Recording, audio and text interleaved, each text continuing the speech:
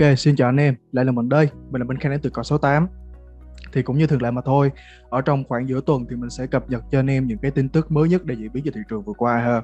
Rồi mình sẽ không dài dòng nữa và chúng ta hãy cùng bắt đầu tiến ngay vào video ngày hôm nay thôi. Thì như anh em cũng thấy đó, là tuần vừa qua là thực sự khi mà người ta đứng, chúng ta đã đứng trước một cái thông tin khá là biến động, đó chính là về việc Fed nâng lãi suất đó. Nhưng mà cũng như mình đã chia sẻ với anh em rất là nhiều lần, thì thị trường của chúng ta đó, chúng ta đã phải đón những cái thông tin này từ khá là lâu rồi, có thể là từ tháng 12 năm 2021 á. Đúng không? Chúng ta lo lắng về những cái việc mà Fed sẽ, họ sẽ nâng lãi suất đó. Thì thị trường của chúng ta cũng đã có có một có một cái thời gian hấp thụ rồi. Và thực sự từ tháng 12 đến thời điểm hiện tại là tháng 3 nè, đó, chúng ta phải chứng kiến rất là nhiều phớt rồi. Thì mình nghĩ rằng là cái phản ứng giá của Bitcoin đó, khi mà nó đột nhiên mà trước cái thông tin Fed xong rồi nó tăng từ khoảng là 38 39 lên 41 nghìn đúng không? Như anh em cũng thấy đó thì dường như là đó chỉ là một cái sự hấp thụ rồi. Đó, đó là cái điều minh chứng cho chúng ta thấy rằng là cái câu nói của mình là thị trường nó đã hấp thụ trước đây rồi và không phải tới thời điểm mà ở Fed tăng lãi suất thì nó mới phản ứng đâu mà nó đã phản ứng trước rồi. Thì cái cú tăng đó thì cũng ờ, đối với mình thì nó cũng hơi bất ngờ thôi chứ nó không phải là một cái gì đó mà nó quá là ngạc nhiên ha. Thì về cái cái thông tin Fed thì mình cũng xin tóm tắt cho anh em là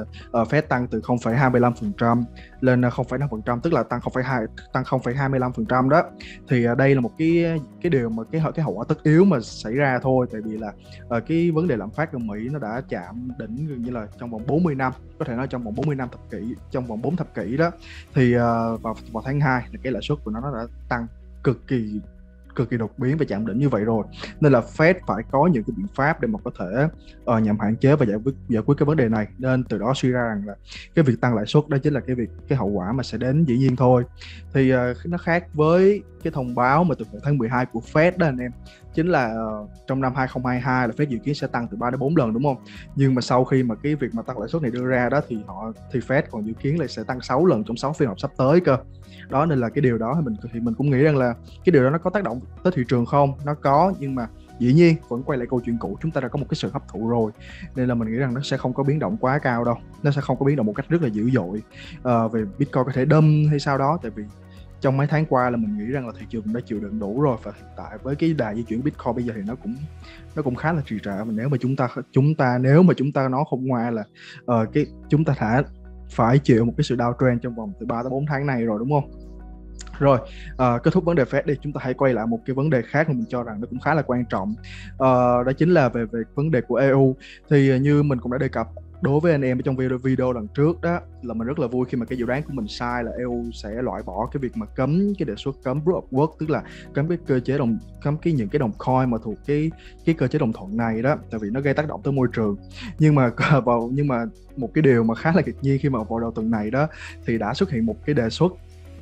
tức là sẽ cấm được đưa vào uh, cái đề xuất cái dự thảo luật của EU đó và và được mang ra được được mang ra để cho mấy ông bỏ phiếu với nhau. Thì uh, tự nhiên là bẻ lái tự nhiên tức tức là ban đầu bị tức là ban đầu cái dự luật Mika cũ đó nè là nó không có cái đề xuất đó. Nhưng mà sau đó mấy ông lại bẻ lái mấy ông lại đưa vào cái luật cấm vào. Và sau đó mấy ông đưa lên ra để mà mấy ông bỏ phiếu với nhau. Nhưng mà cũng rất là may mắn khi mà đưa ra bỏ phiếu á, thì tự nhiên là cái phe mà cái phe mà bỏ phiếu đồng ý uh, chấp nhận cái việc cấm này á nó lại thấp hơn cái phe mà phản đối. Nên vì vậy chúng ta vẫn quay lại câu chuyện là hiện tại đấy. Cái mặt trận crypto của chúng ta ở trên về phương diện pháp lý tại EU đó thì chúng ta đang đang đạt được những cái chiến thắng pháp lý tạm thời mà thôi. Còn về việc tương lai hay sao mấy ông có uh, lấy cái dự luật đó mấy ông ngồi với nhau lại mấy ông đưa cấm hay không cấm thì đó là chuyện của tương lai. À, đưa ra đưa ra biểu quyết đó là chuyện của tương lai. Nhưng mà tại điểm hiện tại đó khi mà bất ngờ quay xe sửa lại cái sửa lại một số cái điều luật cấm trong cái đó đưa ra bỏ phiếu đó thì hiện tại thì uh, cái phe mà đồng ý thì nó vẫn thua cái phe mà không có đồng ý cái việc cấm này. Thì bây giờ chúng ta vẫn đang dừng lại ở câu chuyện rằng là EU sẽ uh, phần lớn những những nhà lập pháp của EU hiện tại họ sẽ không có đồng ý với cái việc mà uh, cấm những cái đồng coin những cái đồng token mà nó liên quan đến cái cơ chế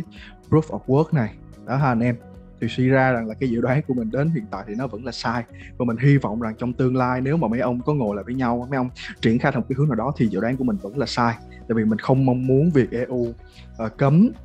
Bitcoin cũng như là cấm những cái token liên quan tới Proof of Work như thế nào đó trên phạm vi chung tại vì đó sẽ là một cái rào cản pháp lý rất là lớn đối với cái thị trường của chúng ta và đặc biệt là Bitcoin nữa. Tại vì Bitcoin là là một cái đồng coin lớn trên thị trường của chúng ta và cũng là một cái đồng coin đang được uh, các nhà giao dịch khai thác ở trên cái cơ chế proof of work chứ không phải là proof of stake giống như những cái những cái blockchain phổ biến hiện tại những cái thế hệ mới bây giờ ha anh em. Bitcoin vẫn là proof of work nha. Rồi à, chúng ta hãy tiến đến một cái thông tin khá là thú vị tiếp theo đi tức là uh, đầu tuần này chúng ta cũng đã ghi được một cái thông tin mình cho rằng nó cũng khá là nó nó cũng khá là gây cấn đó đó chính là nhà đồng sáng lập Apple. Thì anh em cũng biết á là Steve Wozniak đó thì ông đó ông là một nhà đồng sáng lập của Apple là một trong những huyền thoại công nghệ còn sống đến hiện tại và cùng thời với Steve Jobs. Thì uh, Steve ấy, dường như là ông cũng chia sẻ về Bitcoin khá là nhiều. Nhưng mà nếu mà anh em follow kỹ đó thì anh em sẽ thấy rằng là Steve nói về Bitcoin và nói về crypto một cách khá là trừu tượng. Chứ ông không hề mà ông đá động đến cái việc gọi là thứ nhất là về mặt giá cả trực về mặt giá cả trực tiếp ví dụ như là ở Bitcoin lên hay Bitcoin xuống giống như anh em ta vẫn hay bàn luận đúng không? Và cái thứ hai là ông ông khá là kín tiếng khi mà đưa ra những cái nhận những cái nhận xét về việc là ở Bitcoin là sẽ bum hay Bitcoin đâm hay là ra sao đó. Tức là cái trừu tượng ở đây anh em sẽ hiểu rằng là ông thường hay giống như kiểu ông nói về Bitcoin như là Bitcoin sẽ là một cái uh, vàng của toán học hay là một cái gì đó nói nói chung là những cái mà quan điểm của Steve ông đưa ra đó về Bitcoin và thị trường của chúng ta đó, thì nó, chúng ta hãy nói chung lại đó, chính là những cái quan điểm khá là trừu tượng và chỉ và chỉ có dân công nghệ, chỉ có dân mà chuyên về những cái code dev thì họ mới hiểu thôi. Chứ nói với người thường thì chắc có lẽ mình không đủ trình độ để mà hiểu được những cái nhận xét của ông. Đó rồi nhưng mà thật sự trong vào đầu tuần qua thì à, vào, vào, vào đầu tuần này chứ thì tự nhiên bất ngờ rằng là Steve ông tiết lộ rằng là ông đi thẳng trực tiếp vào vấn đề luôn anh em. Tức là ông đi thẳng trực tiếp sau ông nói là thì ông vẫn dẫn dắt một cái câu chuyện nó khá là trừu tượng là ờ làm sao để mà chúng ta có thể chơi với bitcoin một cái thứ mà mà được phát minh mới mẻ thế này. Rồi làm sao chúng ta có thể mua được uh, một cái bánh từ quốc gia này sang quốc gia khác rồi kiếm mấy ATM Bitcoin tức là ông dẫn dắt một cái một cái câu chuyện khá là trừu tượng theo đúng như cái uh, cái cái quan điểm cái cảm xúc mà Steve chia sẻ từ đó đến giờ luôn. Nhưng mà ông chốt hạ là một câu là hiện tại ông đang sở hữu một cái khoản tiền đầu tư vào Bitcoin. Đó là một cái việc mà mình nghĩ rằng nó khá, khá là bất ngờ so với tính cách của Steve trước đây luôn anh em. Đó tự nhiên một người suốt ngày cứ đi theo những những cái trừu tượng nói những cái viễn vông tiện bây giờ đập thẳng vào một vấn đề là ok, nói như vậy đủ rồi, bây giờ tôi cũng có đầu tư vào vào bitcoin đó. Và thậm chí ông còn chia sẻ rằng là ông còn đầu tư vào một cái, vào ví của sàn coinbase nữa anh em. Đó đó là cái điều mà tại sao mình nói rằng là đây là một cái tiết lộ khá là bất ngờ và ông đứng trên, ông đứng trên một cái cương vị là một huyền thoại sống về công nghệ, là một nhà đồng sáng lập Apple. Thì hiện tại bây giờ chúng ta đã biết rằng là, ok, Steve đầu tư vào Bitcoin đó đó là một cái câu chuyện mà mình nghĩ rằng đây là một cái câu chuyện sẽ sẽ truyền cảm hứng được rất lớn đối với cộng đồng crypto. Tại vì nếu như anh em biết cách đây khoảng 3 tháng thì uh, CEO hiện tại của Apple đó chính là Tim Cook á, thì ông nói rằng là cá nhân ông thì ông cũng đầu tư vào thị trường crypto nhưng mà Apple thì không. Thì chúng ta phải phân biệt rõ quan điểm nha. Chúng ta phải phân biệt rõ quan điểm ở đây tức là cá nhân thì mấy ông nói sao cũng được mấy ông đầu tư sao cũng được nhưng mà đứng trên một cái cương vị gọi là thương hiệu và công ty thì nó phải uh, nó phải khác. Đó thì chúng ta đã có bây giờ chúng ta có Tim Cook chúng ta có nhà đồng sáng lập nhà đồng sáng lập Apple Steve Wozniak rồi. Thì anh em biết rằng là cái thị trường của chúng ta bây giờ nó không đơn giản nữa. Những cái người mà họ có tiếng trong giới công nghệ truyền thống và họ cũng đã có một cái vị thế một cái vị trí nhất định ở trong xã hội bây giờ họ cũng đã dần họ tiết lộ ra những cái manh mối khi mà họ tiếp xúc với cái thị trường này rồi đó thì ờ, đây cũng là một cái thông tin khá là thú vị mà mình cũng muốn chia sẻ đến cho anh em ha. Rồi tiếp theo chúng ta hãy đi tới một cái nhân vật mà cũng khá là nổi bật trong trong năm 2021 đi đó chính là Elon Musk. Thì uh, vào cái giai đoạn mà um, mình có thể tạm gọi là gì? Là một cái giai đoạn ờ, uh, downtrend tạm thời đấy chứ mình không mình mình không có dám gọi là một cái giai đoạn mà uh, downtrend để gây tâm lý tiêu cực cho anh em nữa. Đối thôi mình bây giờ mình sẽ gọi đó, đó chính là downtrend tạm thời đi. À, thì trong cái giai đoạn downtrend tạm thời này thì đột nhiên Elon Musk lại nói là bây giờ cái số đầu tư của ông Bitcoin, Ethereum hay là Dogecoin đó thì bây giờ ông vẫn để yên, ông chẳng có bán cái gì cả. Và ông còn cho rằng cái việc mà ông để yên ông không bán như vậy đó chính là cái việc mà ông để tạm lánh cái vấn đề lạm phát khi mà uh, hiện tại nó đang gia tăng quá là cao ở Mỹ đó thì uh, đây cũng là một cái thông tin khá là thú vị vì uh, đối với cái vấn đề hồi nãy mình nói về Fed đó anh em tức là Fed thực hiện tăng lãi suất để để có thể mà làm giảm cái uh, cái tình trạng lạm phát đó nhưng mà cái điều đó nó cũng không làm yên lòng những cái người những cái vị tỷ phú những cái người mà khá là giàu ở giới siêu giàu ở Mỹ đó, họ vẫn không có cho rằng là Fed sẽ giải quyết triệt để được vấn đề này và, và vấn đề lạm phát nó sẽ là một vấn đề mà sẽ kéo dài kéo dài mãi mà thôi. Và để phòng tránh cái việc đó đó thì họ không có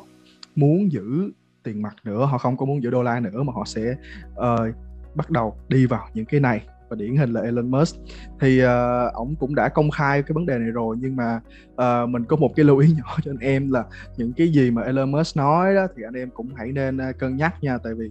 ổng thì anh em cũng biết là Elon Musk với Dogecoin là đã là mưa làm gió cho năm 2021 rồi nên là những cái gì á mà mà Elon Musk đăng lên Twitter hay là công khai với công chúng đó thì em chỉ nên tham khảo mà thôi chứ chúng ta không nên uh, FOMO một cái gì đó để mà có thể tránh cái thiệt hại sau này đối với chúng ta ha. Nhưng dù nhưng dù sao thì đây cũng chính là uh, những cái lý do để mà khiến thị trường của chúng ta luôn luôn chuyển động và cũng khiến một cái độ FOMO nhất định để mà cuốn hút những cái người mà họ chưa biết vào thị trường của chúng ta. Uh, đến với thị trường và sẽ càng khiến cho thị trường của chúng ta nở nở nở hơn nữa. Thì đó chính là về cái mặt tích cực của những cái vị KOL này khi mà họ nói về những cái vấn đề về crypto ha. Nhưng mà đó chỉ là mặt tích cực thôi còn mặt tiêu cực thì mình mới vừa nói đó. Rồi rồi thì một ờ, thì tiếp theo đó thì anh em biết là cái tình trạng giữa nga và ukraine thì hiện tại là nó vẫn đang khá là căng thẳng. À, nhưng mà để mà thì cái số tiền mà quyên góp để dành cho Ukraine đó để để hỗ trợ cái vấn đề quân sự để mà cho Ukraine có thể mà uh, chống lại cuộc chiến với Nga đó thì hiện tại là tính đến à, hình như đầu tuần này là nó đã hơn khoảng là nó đã hơn 100 triệu USD rồi. Đó nhưng mà cái điều đó thì dường như là vẫn chưa làm thỏa mãn với chính quyền Ukraine mà họ muốn đặt một cái mục tiêu cao hơn chính là họ gây quỹ lên đến 200 triệu USD thì khi mà mình nói tới đây đó thì chắc chắn sẽ có nhiều anh em là uh, suy nghĩ một cách nó hơi thiên hướng chính trị một tí rằng là uh, đang lợi dụng crypto để mà có thể uh, đem về tiền cá nhân rồi mấy ông chia chác nhau thì mình không nói tới vấn đề đó tại vì đó là đó là một cái vấn đề rất là nhạy cảm mà mình sẽ không nói ở đây. Thì mình cũng uh, mình cũng chia sẻ cho anh em là mình chia sẻ ở đây chỉ là chia sẻ trên quan điểm như là thị trường crypto mà thôi chứ không nói về những cái vấn đề khác như là những vấn đề về chính trị hay là nhạy cảm ha.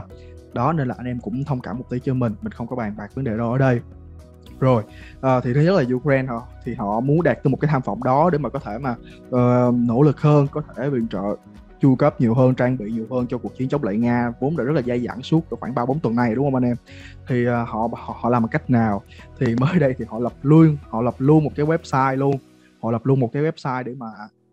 công chúng trên toàn cầu có thể donate vào có thể quyên góp tiền mã hóa vào cho họ. Đó thì đây là một động thái mình cho rằng là chơi rất là lớn của chính quyền Ukraine luôn. Và thậm chí nha thậm chí ngay sau khi mà họ lập một cái website như vậy á, thì anh em biết á, là tổng thống Zelensky đó thì ông cũng đã phê duyệt luôn một cái luật công nhận tiền mã hóa rồi ha.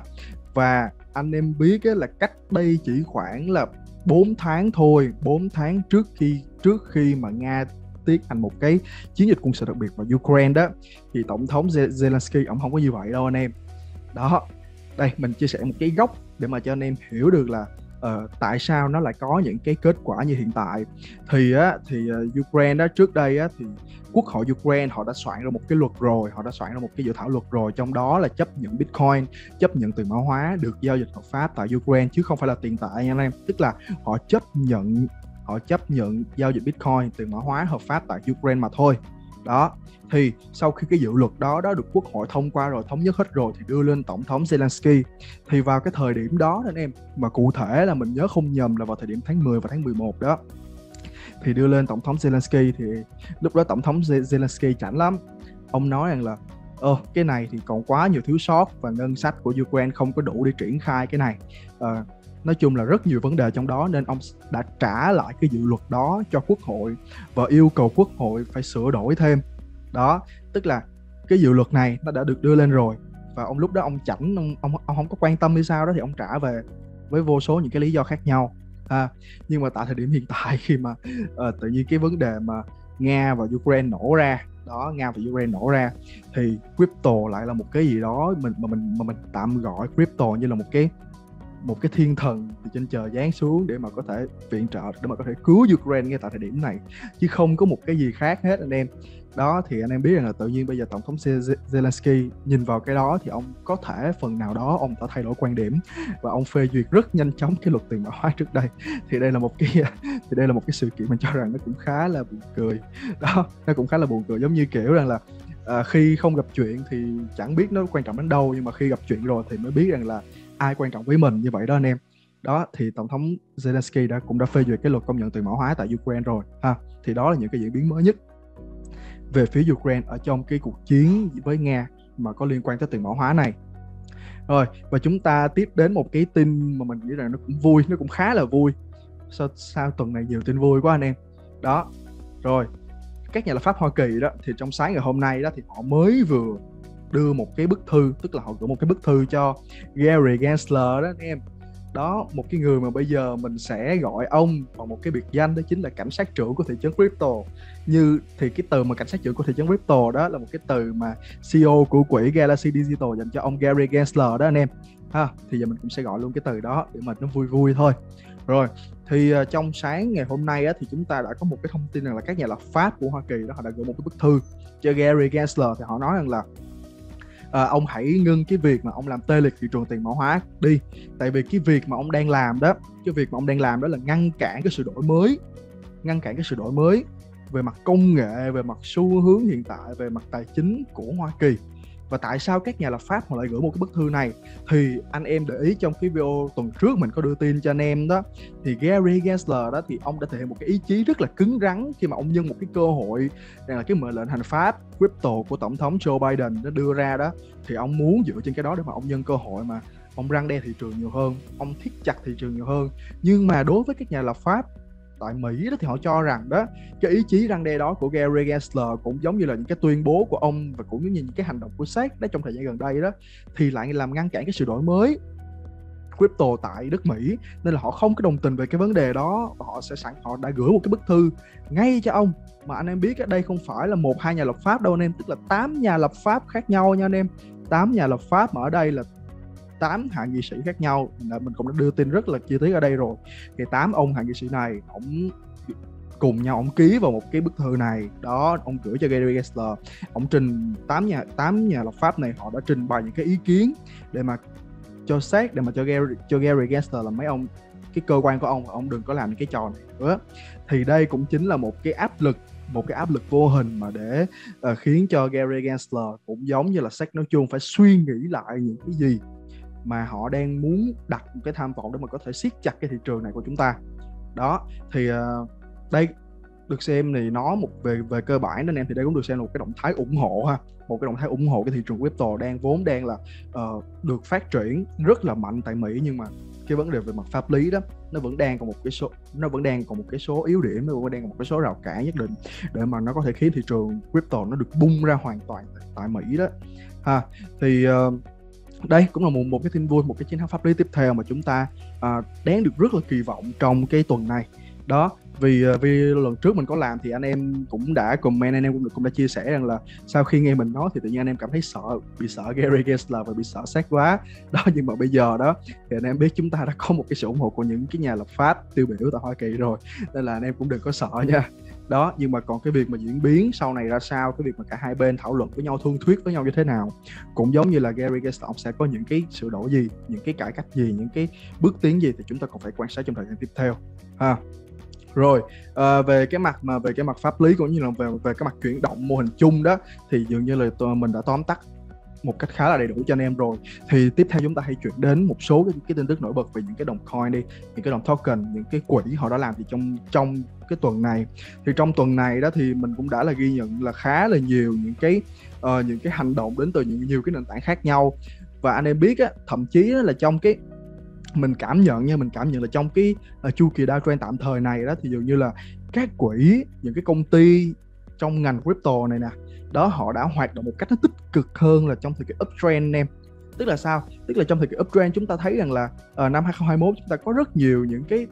tức là ngày nào anh em thức dậy anh em cũng thấy cảm thấy tin tốt tin tốt tin tốt, tin tốt đúng không? Rồi những cái công ty những cái quỹ crypto họ cứ đầu tư đầu tư nhưng mà thật sự là uh, nếu mà anh em quan sát kỹ thì thật sự là trong chu kỳ uptrend thì đó chỉ là những cái những cái mà nó nó khá là lặt vặt đó anh em chứ nó không có gì gọi là uh, tiêu biểu cả. Và thậm chí cái số tiền mà đầu tư nó cũng không có lớn nữa. Nhưng mà trong thời gian gần đây anh em thấy rằng là mặc dù trong giai đoạn downtrend nha nhưng mà những cái quỹ nè họ lại bung tiền cực kỳ mạnh luôn. Họ lại bung tiền cực kỳ mạnh như mình như mình có thể nói đó chính đó chính là về về Ben Capital. Họ bung có khoảng 400 triệu ha. Rồi những cái quỹ khác họ bung khoảng mấy trăm mấy trăm những cái số tiền phải nói là nó cực kỳ gớm đó phải nói là nó, nó cực kỳ gớm luôn. Mà đặc biệt chúng ta hãy xét về cái bối cảnh trong cái chu kỳ downtrend này mà tại sao họ làm như vậy? Rồi những cái nền tảng bây giờ họ cũng bắt đầu họ update lên họ bắt đầu họ thực hiện những cái xu hướng như là họ tung ra những cái quỹ tài trợ họ tung ra những cái quỹ phát triển hệ, hệ sinh thái để làm cái gì? Thì chúng ta lại quay lại cái câu chuyện rằng là mình cũng đã chia sẻ rồi. Chính là trong cái thời kỳ mà ờ, uh, downtrend đó thì chúng ta đã có một cái triết lý của bố già DeFi mà bây giờ ông đã rời ngành crypto rồi. Uh, đó đó chính là triết đó chính là một cái triết lý của của của Andre Ray ha. Thì ông cũng nói rằng là ờ, trong cái chu kỳ uptrend thì ai ai cũng đua nhau hết, nhưng mà trong cái chu kỳ downtrend đó đó thì mấy ông mới đi mà cầm kiệu cầm cụi mấy ông build, mấy ông xây dựng thì đó cũng là một cái tín hiệu tốt để mà cho chúng ta thấy là thị trường của chúng ta không phải là hoàn toàn suy sụp anh em. Thì anh em biết đó, thì ờ, đây tiêu biểu là tự nhiên bây giờ trong một cái chu kỳ mà nó khá là chán nản, hầu hết phần lớn anh em đã chán này như thế này, thì ông ngân hàng HSBC này nè, ông này đi, ông ông mua đất trong trong the sandbox. Đây, thì đây cũng là một cái cú bom tấn mà mình cho rằng, mình dùng từ bom tấn nha anh em, tại vì sao? Tại vì á, anh em biết là trước đây những cái doanh nghiệp mà họ, những cái tổ chức tài chính mà họ mua đất trong sandbox đó, là những cái ông mà mấy ông không có liên quan gì đến cái thị trường này. Và bây giờ mấy ông cảm thấy tiền năm thì mấy ông mới bay vô mua thôi. Nhưng mà ông ông ông HSBC này nè đó thì trước đây là ông chỉ trích Bitcoin rất là nhiều anh em. Ông nói cái, cái thị trường của chúng ta là một cái thị trường nó không có đáng tin và, H, và HSBC tuyên bố rằng là chúng tôi sẽ chẳng bao giờ tham gia cái cái thị trường này. Tại vì sao? Tại vì cái thị trường này nó quá là biến động. Đó nên là chúng tôi chẳng thèm ngó luôn cũng chẳng thèm nghiên cứu về cái thị trường này luôn. Và thậm chí mà ông còn đi mấy ông ủng hộ cho cái CBDC tức là cái tiền tệ kỹ thuật kỹ thuật số của, của ngân hàng trung ương đó. Đó mấy ông ủng hộ CBDC tại vì mấy ông nói là ok CBDC sẽ là một cái giải pháp để mà có thể kiềm hãm thị trường crypto lại và cho stablecoin văng luôn. Đó, tức là mấy ông có một cái thái độ khá khá là thù địch luôn á, anh em. Nhưng mà tự nhiên bây giờ, ông lại đi ông ông mua đất trong the sandbox và ông lại đi ông khen lấy khen để metaverse và ông lại đi ông khen khen lấy khen để cái cái thị trường crypto của chúng ta thì chúng ta cũng đã thấy được rằng là ở trong thời gian qua không phải là thị trường của chúng ta downtrend hay uptrend hay là thị trường của chúng ta sẽ hoàn toàn sụp đổ. Nhưng mà cái sụp đổ ở đây chính là ý chí của của những cái ông có thái độ thù địch như vậy nè, anh em. Tức là ở đây là thị trường của chúng ta đang dần trưởng thành hơn rồi. Và mặc dù chúng ta chúng ta hãy gạt bỏ qua cái vấn đề về giá đi, nhưng mà bây giờ chúng ta đã thuyết phục được những cái người, những cái gã không đồ tài chính khó tính nhất để mà có thể bước chân vào thị trường của chúng ta. Và cái điều này á nếu mà anh em nghĩ về cái tương lai mà nó xa hơn thì chắc chắn đây sẽ là một những cái bệ phóng cực kỳ chắc chắn để mà thị trường của chúng ta bay xa hơn nữa trong tương lai. Đó và cái phản ứng giá hiện tại nó chỉ là một một cái gì đó một cái chướng ngại gì đó đối với thị trường của chúng ta mà thôi ha. Giống như năm 2021 anh em thấy á, khi mà Bitcoin nó khi mà tầm cuối năm 2020 đầu năm 2021 đó, khi mà khi mà Bitcoin nó tầm khoảng là mình nhớ không nhầm là vào tháng 11 năm 2020 đó, nó chỉ mới tầm khoảng là 10.000 đô 13.000 đô thôi, đúng không anh em? Nó bay một phát hẳn lên 60 mấy nghìn đô và, và bây giờ nó đang giao dịch ở khoảng là 40 nghìn đô. Thì nếu mà chúng ta cũng hãy tưởng tượng rằng là cái cuộc đổ xô này cái cuộc đổ xô và thị trường của chúng ta càng ngày càng rộng ra hơn nữa và dần dần sẽ được chấp nhận nhiều hơn nữa thì thị trường của chúng ta nó sẽ đi tới đâu? Ha mình nói đây không phải là để anh em FOMO để anh em bullish rằng là uh, chúng ta sẽ uptrend hay là gì đó. Mình đã nói rồi. Hãy tạm gác một cái vấn đề giá đi chúng ta hãy hình dung một bức tranh nó to lớn hơn nó vĩ đại hơn trong tương lai bằng những cái sự kiện như thế này ha rồi tiếp theo thì ờ, một cái tin cũng khá là vui nói về mảng build của Cardano. Thì anh em biết đó thì ờ, ở đây mình không có phớt ADA nha anh em mình không có mình không hề phớt ADA mà mình chỉ đưa cho anh em cái uh, góc nhìn về ADA mà thôi. Thì uh, đứng trước cái làn sóng dư luận mà uh, dạo gần đây anh em hay nói rằng là ADA là tại sao ADA chậm phát triển thế? Hệ sinh thái của ADA như thế này lọ cái chai chẳng hạn. Thì đứng trước những cái đó thì nhà sáng lập của ADA chính là ông Charles Hutchinson. Thì ông cũng nói ông bây giờ ông cũng nói thẳng trực tiếp vào vấn đề như nhà đồng sáng lập Apple luôn. Ông không có vòng vo nữa em ông không có vòng vo nữa. Mà ông nói rằng là ok bây, bây giờ mấy ông muốn hệ sinh thái ADA bùng nổ đúng không? Mấy ông muốn làn sóng đi áp sẽ cập bến ADA khiến cho TVL e của ADA ở trong không gian DeFi tăng mạnh đúng không? Ok chờ đến tháng 6 đi à, và ông nói chờ đến tháng 6 như vậy là gì? Tại vì tháng 6 đó trên sẽ chứng kiến một cái đợt hard fork nha anh em. Đó một một cái đợt hard fork mà cái đợt hard fork này á, nó sẽ được đặt tên là Vasil. Thì uh, khi mà Charles Hutchinson ông chia sẻ cái thông tin này đó ông nói rằng là hệ sinh thái ADA đang dần tăng trưởng mạnh đang dần tăng trưởng rất là mạnh. Nhưng mà nhìn vào TVL thì nó vẫn khá là cục mịch anh em. Nó chỉ có 190 triệu USD mà thôi. Nhưng mà tại vì á mọi chuyển biến sẽ được đổ dồn dập trước khi đợt Hartford siêu diễn ra vào tháng 6 thì sẽ khiến TVL của ADA tăng một cách kinh khủng. Đó ông ông Charles kia ông nói trực tiếp như vậy luôn. Và ông nói là những cái người mà đang những cái người mà đang chờ đợi ADA thì hãy chờ đến tháng 6 đi. Tại vì sẽ có một làn sóng đi áp cực kỳ lớn đổ bộ vào ADA thì sau khi mình đọc được cái thông tin này và mình làm cái thông tin này thì mình thấy khá là uh, gọi là gọi cái việc mà uh, Charles Hutchinson ông nổ được không phải nhưng mình cảm thấy nó khá là thú vị và nó khá là buồn cười á anh em. Tại vì sao? Tại vì uh, thì anh em biết rằng là cũng vào thời điểm tháng 6 năm 2020 thì Charles Hutchinson cũng đã nói với cộng đồng rằng là một năm sau các bạn sẽ thấy sẽ có hàng tấn đi app hàng trăm gì đó nói chung là hàng ngàn ứng dụng sẽ cập bến ADA nhưng mà vào thời điểm tháng 6 năm 2021 đó anh em tức là từ cái phát biểu năm 2020 và tháng 6 năm 2020 của ông đó đến năm 2021 là tròn một năm đúng không? Thì chúng ta lại chả thấy gì cả. Và thậm chí tháng 6 năm 2021 chúng ta cũng chả có cái Manet Alonso nữa. Và cái Manet Alonso nó phải được nó nó đã được triển khai tới tận tháng 9 năm 2021 cơ. Và đến thời điểm hiện tại thì ông cũng nói ông, ông ông cũng nói với cộng đồng rằng là vào tháng 6 năm nay thì sẽ có một cái làn sóng mới đi áp. Thì anh em thấy cái con số 6 huyền thoại không? Tức là tuyên bố này ông đã nói từ hồi năm 2020 rồi cho đến tháng 6 năm 2021 nó chẳng có gì. Và bây giờ ông lặp lại đến năm tháng 6 năm 2022 thì các bạn sẽ thấy. Thì uh, mình hy vọng rằng đợt này đó thì ờ, cái tuyên bố của Charles Hawkins nó, nó cũng không phải là một cái tuyên bố mà tuyên bố cho có nữa mà nó sẽ là một cái trở thành hiện thực để mà có thể khiến cho ADA có thể thực sự bùng nổ vào thời điểm hiện tại luôn. Tại vì như anh em biết là ADA cũng đã bắt đầu uh, bước qua cái giai đoạn mở rộng ba xô rồi là một trong những cái giai đoạn mà thuộc cái roadmap của ADA một trong những cái giai đoạn cuối cùng của cái giai đoạn mở rộng để mà có thể đón, đón chào hàng hàng nghìn cái đi app hàng trăm cái đi app để mà có thể khiến cho ADA trở thành một cái thế lực lớn ở trong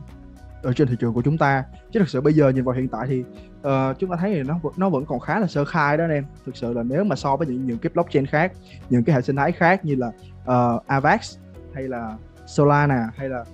nhiều cái hệ sinh thái đang phổ biến hiện nay Luna chẳng hạn chúng ta thấy ADA dường như là chẳng có một cái gì trên đó cả ha. Và hy vọng rằng là cái tuyên bố của ông sẽ sẽ trở thành hiện thực trong năm nay chứ không phải là giống như năm 2020 năm 2021 nữa anh em. Mà nếu mà chúng ta chờ đợi đến tháng 6 mà sẽ chẳng có gì cả thì anh em cũng hiểu vấn đề giống như mình rồi ha. Mình sẽ không tiện nói ở đây. Thì để tránh những fan ADA vào mà uh, nhận xét cũng giống như là uh, chỉ chỉ trích mình. Mình chỉ nói ở đây mình chỉ nói đơn giản ở đây rằng là ok những cái sự kiện trùng hợp như vậy nó đã kéo dài qua 2 năm rồi. Tức là cái tuyên bố của ông á trùng hợp nó đã kéo dài qua 2 năm rồi. Và nếu đến năm 2022 này ông tuyên bố đến tháng 6 nữa mà chúng ta không chúng ta sẽ chẳng thấy gì cả thì chứng tỏ là ông đã thất hứa với cộng đồng ba lần rồi đúng không? Ông thất hứa với cộng đồng ba lần rồi. Thì uh, đó cũng sẽ là một cái tín hiệu đáng ngại để mà chúng ta có thể suy xét rằng là chúng ta có nên đặt niềm tin vào Ada nữa hay không. Ha rồi và trong tuần này đó như mình cũng đã nói nói uh, cách đây có khoảng có khoảng 5 phút đó là những cái quỹ họ đã bắt đầu họ rụt rịch họ bắt đầu họ đổ tiền vào rất là nhiều. Và chúng ta cũng đã thấy sự xuất hiện của những cái hoạt động những cái nền tảng nổi bật như là uh, Infinity bây giờ, bây giờ đã trở thành một cái parachain NFT đầu tiên hoạt động trên Polkadot rồi. Và anh em lên DeFi Llama đó thì anh em cũng sẽ thấy rằng là Polkadot cũng đã xuất hiện trên một cái bản đồ TVL tức là tổng giá trị được khóa ở, ở trong không gian DeFi rồi. Đó ha. Rồi tiếp theo chúng ta thấy là những cái người những cái blockchain cổ lô sĩ lâu đời ở trên thị trường tiền mã hóa chúng ta như là Ripple hay là Stellar thì cũng đã bắt đầu là uh, bung tiền ra rồi. Mà Ripple ở đây tức là họ bung tới 1 tỷ XRP là anh em. Mà tính theo giá XRP hiện tại bây giờ 1 tỷ XRP này á thì nó tương đương với khoảng là hơn 700 triệu USD đó anh em. Để mà họ mở rộng họ tài trợ cho những cái nhà phát triển để mà mở rộng trên cái Ừ, trên cái nền tảng XRP Ledger của họ. Và chúng ta cũng đã có Stellar họ chỉ họ bung tiền ra 30 triệu USD để ươm mầm cho những cái công ty blockchain khởi nghiệp cũng trên cái hệ sinh thái Stellar của họ luôn. Đó ha. Và chúng ta cũng có hàng loạt những cái vấn đề khác như là uh, những cái quỹ gây khác như là sáng nay chúng ta có Optimizer cũng đã uh, bắt đầu gọi vốn thành công rồi. Và hàng loạt những cái dự án khác mà nếu mình trên đây thì, thì nó sẽ rất là dài. Nhưng mà tóm tắt lại câu chuyện ở đây thì anh em cũng hiểu rằng là trong cái giai đoạn này thì đã có rất nhiều nền tảng trong ngành họ huy động vốn rất là lớn họ bắt đầu họ đổ tiền vào. Và thậm chí những và và không chỉ là những cái đại diện ở trong ngành đâu mà chúng ta còn có những cái quỹ đầu tư tài chính truyền thống khác ở bên ngoài nữa. Họ cũng họ cũng đã bắt đầu họ thành lập những cái quỹ riêng để mà có thể dành riêng cho thị trường crypto của chúng ta. À, thì cái điều này nó chứng tỏ rằng là mặc dù chúng ta đang ở trong một cái giai đoạn ngắn hạn downtrend ngắn hạn chúng ta đang ở trong một cái giai đoạn nó khá là trì trệ nhưng mà uh, cái sự chuyển biến cái sự hoạt động của những cái tay chơi to ở trong thị trường nó vẫn luôn luôn tiếp tục duy trì và nó vẫn đang ngày càng gia tăng với một cái tần suất dày đặc hơn và linh hoạt hơn. Nên là mình cho rằng đây là một đây cũng là một trong những cái dấu hiệu cho chúng ta thấy được là thị trường của chúng ta luôn phải luôn liên tục được chuyển động thì nó mới là uh, một cái một cái yếu tố để khiến cho thị trường trở nên tốt hơn được. Chứ nếu mà thị trường trì trệ rồi mấy ông cũng dần dần mấy, mấy ông bỏ cuộc chơi hết luôn thì nó không còn là nó không còn một cái ý nghĩa gì nữa đúng không anh em? Ha rồi ok vậy thì uh, cái video lần này của mình thì mình cũng nghĩ rằng nó cũng khá là dài rồi nên là mình sẽ tạm dừng tại đây. Ha mình rất cảm ơn anh em đã đồng hành cùng mình trong thời gian vừa qua. Rồi xin chào tạm biệt nha anh em ha và hẹn anh em ở tuần sau. Bye bye.